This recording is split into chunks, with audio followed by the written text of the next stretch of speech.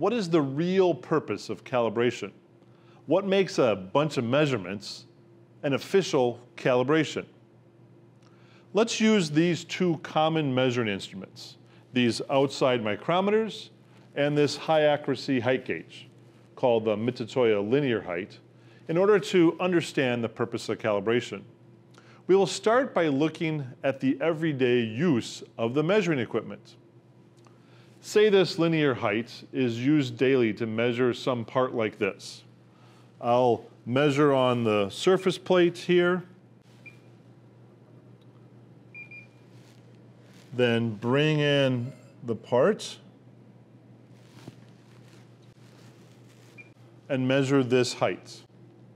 Whoever is using this measuring system wants to make sure the overall accuracy and quality of this measurement process meets their needs.